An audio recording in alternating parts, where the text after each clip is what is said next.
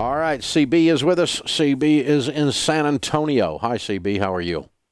Pretty good, man. How about yourself? Better than I deserve, sir. What's up in your world? All right, man. Uh, in the four years that I've been out of high school, I have managed to rack up forty-five thousand dollars in debt. Um, the reason I'm calling is because I'm trying to get rid of my car. Uh, I'm pretty in the hole. You know, I'm about ten thousand dollars in the hole on my car. I think I could sell it for twenty-five, but I really don't. Like, what happens with the money that's that's left over? You know, w- once you sell the car, What do you make a year?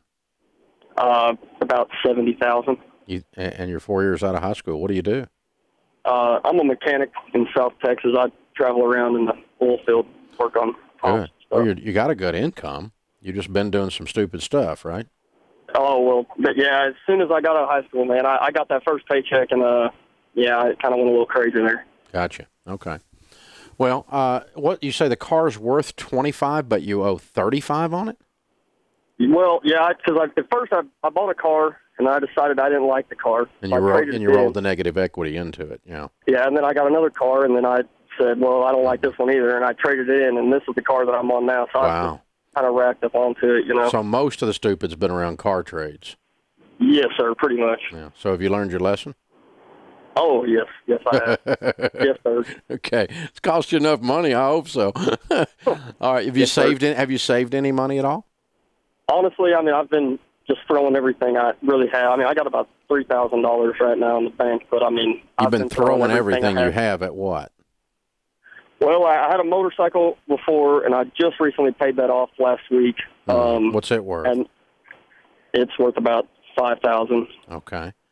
And um, the uh, uh, all right. Do you have anything else? Do you have any other money saved other than the three thousand? Uh, no, sir. I mean, just retirement plan and everything, but that's that's about it. I mean, three thousand. That's that's all I got really. Okay. How's your credit? I mean, it should be good. I, I've never I've never missed a payment or anything on Who's the on loan? Who's the loan with on the car? uh, security service, I believe. Okay. Um.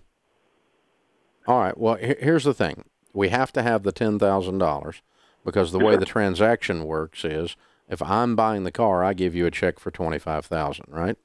Yes, sir. and then you have to give the car company or the security services people a check for thirty-five thousand in order to get the title to give to me. Yes, sir. You follow me? So Yes, we got to have that ten grand. You can either borrow that ten grand, or you can save it up, or you can pay the car down aggressively, and go from Okay. there. Well, that's that's kind of what I've been doing. Like I, I paid that motorcycle off, so what I'm planning on throwing the motorcycle, you know, keep paying the motorcycle payment just on the car.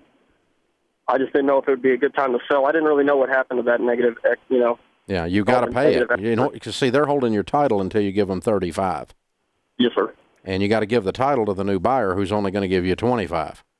Yes, sir. So we got to find that other 10 and the way to do that's pay the car down from 35 to 25 or save up the 10 or borrow the 10. Yes, sir. But no more impulsive decisions on vehicles. Well, if I were you, I would stop your retirement and I would get on a tight budget, beans and rice, rice and beans, and I'd stop saving money. I mean, I- I'd stop spending money or saving money on anything and I would get in attack mode, attack mode, attack mode. Yes, sir. And and Yes, uh, yeah, sir. I'd get after that, and let's get rid of this thing and get your life back as soon as you possibly can, and then save up and pay cash for whatever you do from this point forward. Okay. Yes, sir. All right, man. Hey, thanks for the call. We appreciate you listening. Hey, you guys, Rachel Cruze here. Hope you're enjoying the Dave Ramsey Show. And did you know that I have my very own YouTube channel? Yes, that's right. It's kind of better than the Dave Ramsey channel. Don't tell them I said that. I'm kidding. I'm kidding. So subscribe, and there's lots of videos about life and money. So while you're at it, if you want to check out a video, then you can check out how to do a monthly budget. It's one of the best videos out there.